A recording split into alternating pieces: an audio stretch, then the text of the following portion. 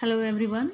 Students, yesterday we started our chapter and this is Jodi's Fan and uh, its main objective is to spread the feeling of sympathy among children for the animals and for the other uh, needy persons, needy uh, human beings also. In this chapter there is a um, main character Jodi and his father was bitten by a rattlesnake and uh, as a remedy a doe's heart and liver was used to draw up the uh, poison. But uh, um, that doe has a uh, had a fan also a little fan which was left alone after using his uh, its liver and its heart. After coming at home jodi uh, said to his father that uh, i should bring back that fan because he would be hungry and scared also because he is alone today. And we should care of uh, we should to, uh, take care of him because it's our duty to uh, feed him because we have used his mother. So uh, his father allowed him to bring back uh, that fawn at home but his mother was not ready to take accept that uh, that uh, animal because she didn't like animals. And uh, this show uh, in this chapter it is shown that their fin- uh, financial condition was also not good. And uh, she couldn't accept this much expenditure on the upbringing of that uh, fawn but after after the conversation uh, with all the uh, members she allowed him to go there. And he goes with his with Millville on his horseback to find out that fun. And uh, when he went there what he found there we will read in our next point. And there is the next part of this chapter. Jody gave himself over to thoughts of the fun. The uh, past they passed the abandoned clearing अब यहाँ पर क्या बताया गया है? जोड़ी जो है, वो अपन जो फान के विचारों में खोया हुआ था, थोड़ा उनसे जो है ऊपर उठता है और फिर जो है वो देखता है कि उन्होंने जो साफ़ एरिया था उसको पास कर लिया था, जो रोड वाला क्लीन एरिया था, वो उससे आगे निकल चुके थे। Now he set cut to the north Millwheel और फिर वो मिलविल को बोलता है कि अब हमें नॉर्थ की तरफ़ चलना चाहिए। It was up here that pa got bitten by the snake and killed the doe and saw the fawn और वो बताता है कि यहाँ से ही जो है इट वॉज़ अप हेयर यहीं से जो है आगे चल कर वो जगह है जहाँ पर पापा को जो है, उस सांप ने काटा था और हमने उस ट्रू को मारा था और उसके बच्चे को देखा था। Suddenly Jody was unwilling to have Millwheel with him और अचानक से जोड़ी जो है, उसकी इच्छा नहीं होती कि वो मिल विल को अपने साथ जो है, लेकर के जाए। और उस फान को जो है ढूंढे वहाँ पर। If the fawn was dead or could not be found अगर जो है फान मरा हुआ मिला या फिर हमें मिला ही नहीं तो क्या होगा? He couldn't have his disappointment seen वो जो है उसकी निराशा को नहीं देख पाएगा, क्योंकि जोड़ी को जो उस फान से बहुत ज़्यादा लगाव था। अगर वो मरा हुआ मिला या नहीं मिला तो जोड़ी इतना ज़्यादा निराश हो जाएगा कि वो उसकी मिल विल जो उसकी निराशा को सहन ही नहीं कर पाएगा। And if the fawn was there the meeting would be so lovely and so sweet that he couldn't endure to share it और दूसरा पॉइंट जो थॉट जो है उसके माइंड में क्या आता है? अगर उसको फ़ान वहाँ पर मिल गया तो ये जो मीटिंग होगी फ़ान के साथ उसकी जोड़ी की, ये इतनी ज़्यादा सुहावनी, इतनी ज़्यादा अच्छी मीटिंग होगी लवली मीटिंग होगी कि वो जो है इसका शेयर किसी के साथ जो है शेयर नहीं करना चाहता। वो इसका जो, इस मोमेंट को जो है किसी के साथ शेयर नहीं करना चाहेगा। तो ये दो जो थॉट्स हैं उसके माइंड में आते हैं कि अगर एक पॉइंट क्या आता है कि अगर फान वहाँ पर मिला नहीं या फिर वो मरा हुआ मिला तो उसकी निराशा को बर्दाश्त नहीं कर पाएगा। और दूसरा पॉइंट क्या आता है, अगर फान वहाँ पर मिल गया तो इतनी जो लवली मीटिंग है, इतना जो अच्छा नज़ारा है, वो इस नज़ारे को जो है किसी और के साथ शेयर नहीं करना चाहता। He said it's now for now it's not far now but the scrub is very thick for a horse. I can make it on foot. अब जो है जोड़ी मिल विल से क्या कहता है कि अब ज़्यादा दूर नहीं रह गई वो जगह। और यहाँ पर जो है, इतनी ज़्यादा झाड़ियाँ हैं, इतना ज़्यादा जो है लंबी घास है कि एक घोड़े के जो है बस में उसको पार करना नहीं है। इसीलिए जो है मैं पैदल ही वहाँ पर जा सकता हूँ। But I am afraid to leave you boy लेकिन मिल विल उसको क्या कहता है? लेकिन मैं, मुझे तुम्हें अकेला छोड़ने में बहुत ज़्यादा डर लग रहा है।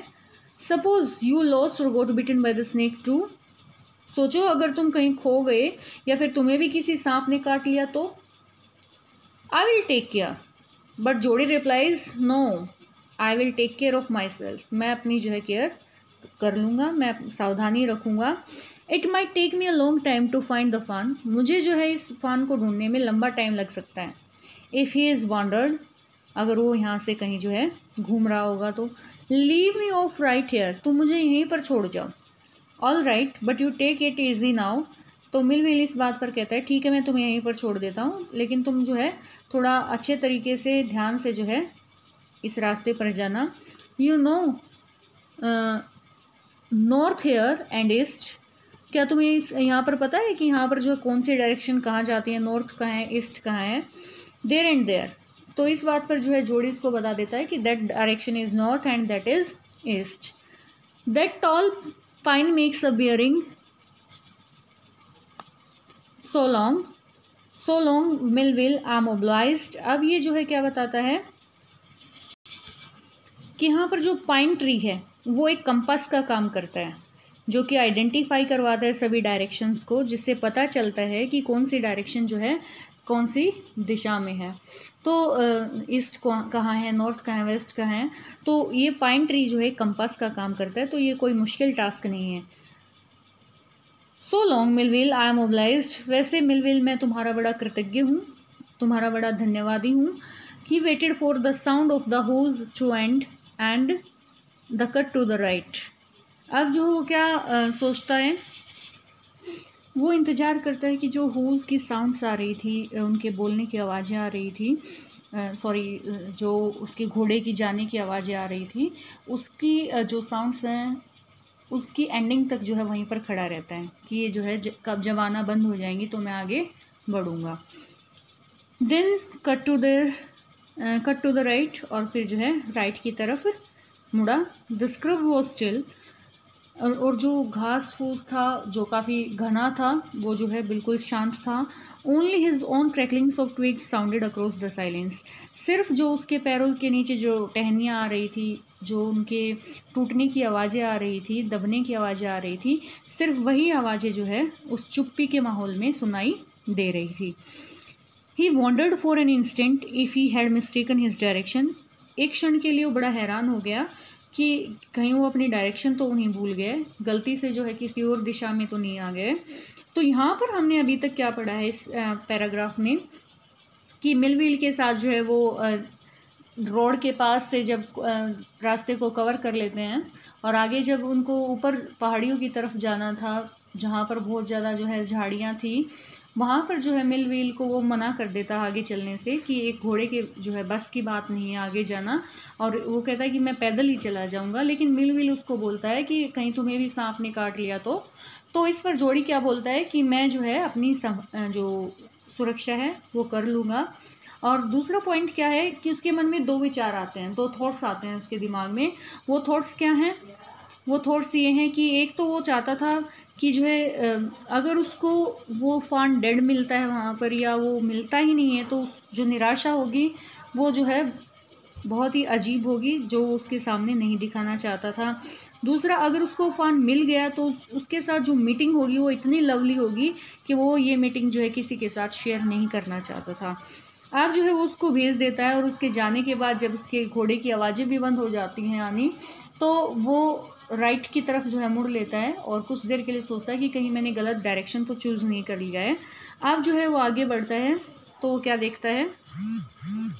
Then a buzzard rose in front of him and flapped into the air buzzard क्या है?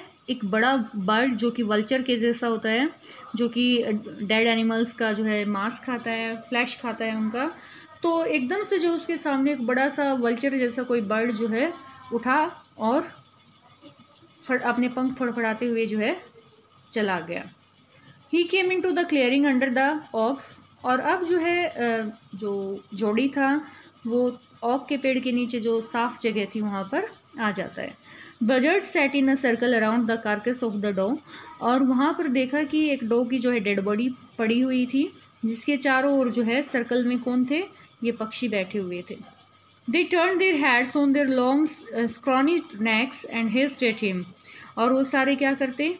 दे टर्न देयर हैड्स अपने जो है सिर को घुमाए हुए और उनकी जो लंबी स्क्रॉनी नेक थी, गर्दन थी, उसको जो है उसकी तरफ़ किए हुए थे और हिसिंग साउंड जो है वो प्रोड्यूस कर रहे थे। He threw his bow at them and they flew into a tree और जब उसने देखा कि वो जो है उसको खा रहे हैं, उसकी तरफ़ जो उसके पास बैठ करके हिसिंग साउंड अजीब सी आवाज़ें निकाल रहे हैं तो इस तरह से जो है वो जब देख करके उनको, उनकी तरफ़ अपना वो फेंक देता है और उस जब वो उसको अपनी तरफ़ आते हुए देखते हैं तो सारे जो है पास वाले पेड़ पर उड़ करके बैठ जाते हैं। The sand showed large cat prints but the big cats killed fresh and they had left the doe in to the carrion birds और वहाँ पर जो रेत थी, मिट्टी थी, उसमें जो है बड़े बड़े जो प्रिंट्स से दिखाई दे रहे थे, किसके कैट प्रिंट्स दिखाई दे रहे थे, बड़ी बिल्ली के जो है पैरों के निशान दिखाई दे रहे थे but the big cats killed fresh and और जो कैट्स थी, उन्होंने जो है किसी फ्रेश डू को मारा है। और they had left the doe to the carrion birds और उन्होंने जो है इस डू को कहाँ पर छोड़ दिया है? इन पक्षियों के लिए छोड़ दिया है। He parted the grass at the place where he had seen the fawn वो जो है घास को हटा करके देखता है जहाँ पर उसने फान को पहले दिन देखा था। It didn't seem possible that it was only yesterday ये लग ही नहीं रहा था उसको कि ये कल की बात है। The fawn was not there उसको फान वहाँ नहीं मिला। ही सर्कल्ड द क्लियरिंग उसने जो सा, सारा एरिया था उसका जो है चक्कर लगाया। There was no sound no sign उसने क्या किया? सब जगह पे जो है अपना हाथ जो घास थी उसके ऊपर अपना हाथ घुमा करके देखा तो उसको कोई भी आवाज़ सुनाई नहीं दी और कोई भी ऐसी चीज़ नज़र नहीं आई जिससे पता चल सके कि यहाँ पर फान है। द बजर्ट्स क्लैक्ट देर विंग्स आप जो है बजट जो वल्चर जैसे पक्षी थे वो अपने विंग्स को जो है से आवाज़ें निकाल रहे थे, इनको फड़फड़ा रहे थे। Impatient to return to their business, और वो बड़े अधीर्य, अधीर हो रहे थे वापस जो है उसी डू को खाने के लिए, उसके पास जाने के लिए। लेकिन जब वो देख रहे थे कि जोड़ी वहाँ पर खड़ा हुआ है तो वो अपने बहुत ही ज़्यादा बेसब्री से जो है उसके जाने का इंतज़ार कर रहे थे। He return to the spot where the fawn had emerge and dropped on all fours studying the sand for the small hoof prints The night's rain had washed away all tracks except those of cat and buzzards. अब वो जो है क्या करता है? ही return to the spot उसी जगह पर वापस आ जाता है where the fawn had emerge and drop Donno all fours जहाँ पर जो है फान उन्हें दिखाई दिया था और उन चारों के ऊपर गिर गया था।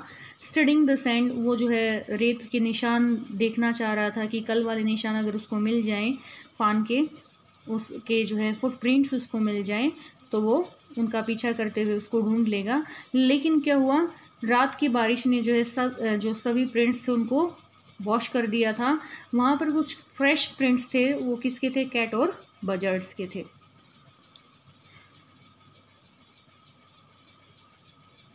Moment directly in front of him startle him so that he tumbled backward अचानक से जो उसके सामने जो कुछ घास थी, उसमें कुछ मूवमेंट होती है। और इससे वो एकदम से उसको झटका लगता है कि ये क्या हो गया? एकदम से डर जाता है वो और वो थोड़ा सा पीछे चला जाता है। The fawn lifted its face to his और तभी जो वो फान अपना सिर ऊपर उठाता है और उसकी तरफ़ देखता है it turn its head with a wide wondering motion and shook him through with the stare of its liquid eyes अब जो है फाइन फ़ान क्या करता है? वो अपना सिर उसकी तरफ़ घुमाता है। बड़ा हैरान था और वो क्या देखता है? और अपने सिर को जब जोड़ी की तरफ़ देखते हुए जो है हिलाना शुरू कर देता है और उसकी आँखें जो है पानी से भरी हुई थी, आंसुओं से भरी हुई थी। इट वॉज़ क्वेवरिंग और ये जो है धीरे धीरे जो है काँप रहा था। उसको डर लग रहा था। It made no effort to rise और रन उसने कोई भी ऐसा प्रयास नहीं किया कि वो वहाँ से उठ करके भागे। Jody couldn't trust himself to move और जोड़ी जो है, खुद भी जो है, वहाँ से हिलने की कोशिश नहीं कर रहा था। ही विस्पर्ड इट्स मी और जोड़ी जो है विस्पर करता है, बुदबुदाता है कि मैं हूँ the fawn lifted its nose scenting him fawn अपना जो है नाक ऊपर उठाता है और उसको सूंघने की कोशिश करता है। He reached out one hand and laid it on the soft neck और जोड़ी क्या करता है? अपना एक हाथ ऊपर उठाता है और उसकी जो सॉफ्ट गर्दन थी उसके ऊपर उसको रखता है। The touch made him delirious और जो ये टच था, उसकी वजह से जो है वो बहुत ही ज़्यादा एक्साइटेड हो जाता है। He move forward on all fours until he was close beside it और वो जो है अपने पैरों से जो है उसकी तरफ़ मुड़ता है। अब उसको थोड़ा डर नहीं लग रहा था। पहले जो है फ़ान भी बहुत ज़्यादा डर रहा था और हिल रहा था और उसकी आँखों में पानी था। लेकिन जो है जब जोड़ी ने उसके ऊपर जो है प्यार से हाथ जो है लगाया तो वो भी अपने चारों पैरों पर खड़ा होकर के उसकी तरफ़ आना शुरू कर देता है और उसके पास जो है बिल्कुल नज़दीक आ जाता है। He put his arms around his body वो अपनी जो है बाजुओं को उसके बॉडी पर रख लेता है। A light convulsion pass over it but it didn't stir और फिर जो है एक हल्की सी कपकपाहट उसके ऊपर, जैसे वो उसके ऊपर अपनी बाजुएँ रखता है जोड़ी तो वो थोड़ा सा कांपना शुरू कर देता है, शिवरिंग शुरू कर देता है, लेकिन बिल्कुल स्थिर वो नहीं हुआ। अब वो ज़्यादा डर नहीं रहा था जोड़ी से, क्योंकि उसका जो टच था वो बहुत ही ज़्यादा सॉफ्ट था, बहुत ही ज़्यादा लवे लवेबल था। तो इस तरह से जो है वो उसके पास आकर के बैठ जाता है। He stroked its sides as uh, gently as though the fawn were a china deer and he might break it.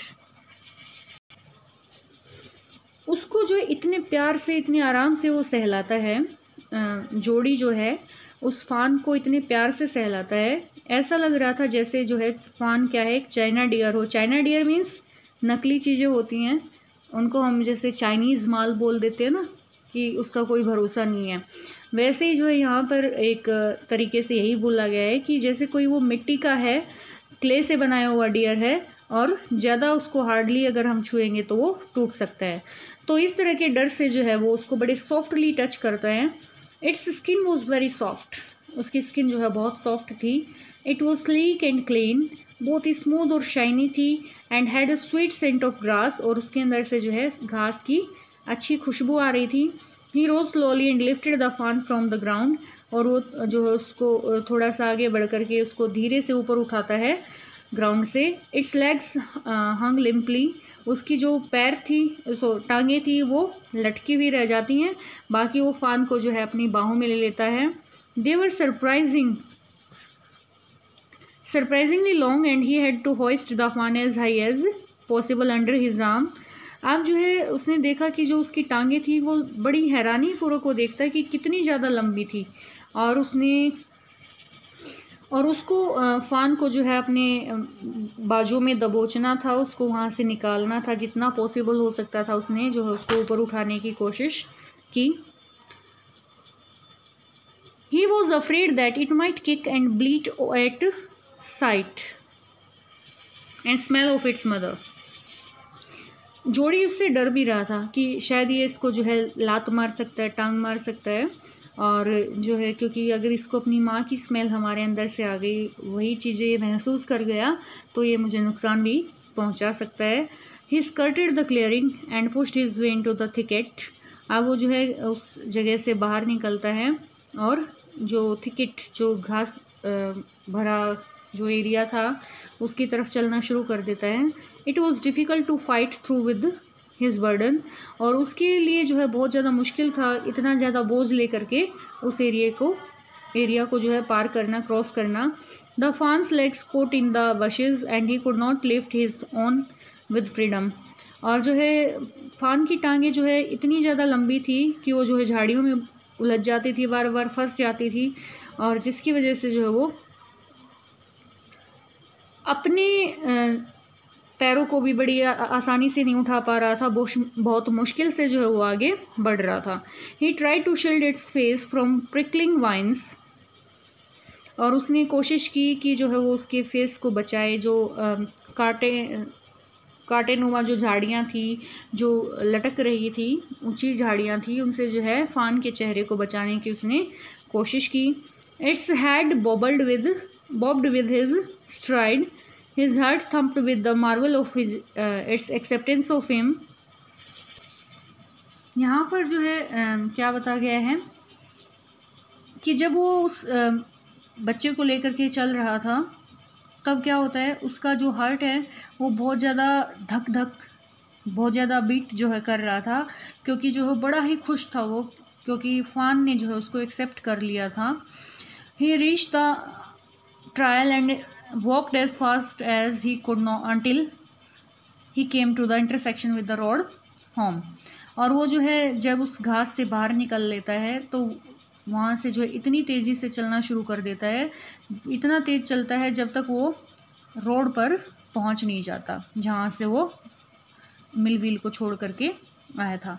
He stop to the rest and and set the fawn down down on its dangling legs और फिर वो वहाँ पर rest करने के लिए रुक जाता है रोड पर और अपनी जो टांगे थी उनको नीचे फैला करके उनके ऊपर जो है फ़ान को बिठा लेता है और फ़ान को भी जो है अपनी लटकती हुई टांगों पर रेस्ट करने के लिए बिठाता है। इट वेवर्ड ऑन दैम और फिर जो है वो उसको हिलाना शुरू कर देता अपने पैरों पर बिठाकर। It looked at him and bleated अब जो है फ़ान जोड़ी की तरफ़ देखता है और बोलना शुरू कर देता है घुर्राना शुरू कर देता है। He said enchanted I will carry you after I get my breath और वो उसको जो है, बड़ी खुशी के साथ बोलता है कि मैं तुम्हें जो है, अपने साथ लेकर के चलूँगा। जब मैं थोड़ा सा थोड़ा सा जो है रिलैक्स हो जाऊँगा, थोड़ा मैं रेस्ट ले लूँगा, थोड़ी थकान जो है मेरी कम हो जाएगी तो मैं तुम्हें अपने साथ लेकर के चलूँगा। He remembered his father saying that a fawn would follow if it had first been carried अब वो जो है उसको अपने पापा की कही हुई बात याद आती है कि एक फ़ान जो है तुम्हें कब फॉलो करेगा अगर तुम उसको पहले लेकर के आए हो कभी? He started away slowly and the fawn stayed after him अब वो क्या करता है? धीरे धीरे चलना शुरू कर देता है। और फान जो है उसको पीछे से ताकता रहता है। He came back to it and stroked it and walked away again अब जो है, जोड़ी वापस मुड़ के आता है, उसको प्यार से दुलारता है और फिर से जो है, आगे बढ़ना शुरू कर देता है। It took a few wobbling steps towards him and cried piteously अब ये फ़ान क्या करता है, बेचारा जो है वॉबलिंग मीन्स अनस्टडी वे में। लड़खड़ाते हुए कुछ कदम आगे रखता है, क्योंकि अभी तक उसने अच्छे से चलना नहीं सीखा था। और फिर जो है wobbling steps towards him and cried piteously और जो है बड़ी दया उसको देख करके जो है बहुत चिल्लाना शुरू कर देता है, जिससे उस पर जो है दया आ जाती है उसको। इट वॉज़ विलिंग क्योंकि फ़ान जो है बहुत ही छोटा था, उसको अभी चलना भी नहीं आता था। लेकिन जो जोड़ी है वो कोशिश करता है उसे चलाने की, क्योंकि वो बिल्कुल थक चुका था। और उसे पता था कि उसके फादर ने उसको बताया था कि अगर फ़ान को पहले कभी जो है चलाया गया हो, उसको सिखाया गया हो तो वो तुम्हें फॉलो कर सकता है। लेकिन फ़ान ने जो है कुछ कदम जो है आगे बढ़ाए लड़खड़ाते हुए, लेकिन फिर वो जो है पीटियसली दयालुता से चिल्लाना शुरू कर देता है। It was willing to follow him वो उसको फॉलो करना चाहता था जोड़ी को। It belong to him it was his own वो जो है उससे रिलेटेड था, उसको अपना मानता था। He was light handed with his joy और वो अपनी खुशी में जो है समझ नहीं पा रहा था कि उसको क्या करना चाहिए। जोड़ी नहीं समझ पा रहा था कि मुझे क्या करना चाहिए, क्योंकि वो बहुत ज़्यादा खुश था उसके मिलने के बाद। He wanted to fondle it वो उसको प्यार से दुलारना चाहता था। To run and romp with it उसके साथ भागना, उसके साथ खेलना चाहता था। To call it to come to him उसको अपने साथ बुलाना चाहता था। He dared not alarm it he picked it up लेकिन जो है उसने उसको उसकी हिम्मत नहीं हुई उसको जो है अलर्ट करने की, उसको जो है ऐसा कुछ करने की, क्योंकि जो है फ़ान अभी उसकी कोई भी लैंग्वेज समझ नहीं पा रहा था। He pick it up and carried it in front of him over his two arms और जो है उस, वो उस फ़ान को अपनी बाजू में उठा लेता है। It seem to him that he walked without efforts अब उसको ऐसा लग रहा था कि वो बिना किसी एफर्ट के जो है चल रहा है।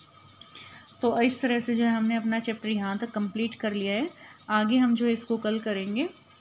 और after this chapter we will start our revision from first chapter thank you